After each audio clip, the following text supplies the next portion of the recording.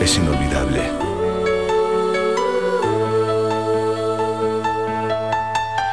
Viendo el inventario de recuerdos de la historia más bonita que la vida es. Lunes, último capítulo.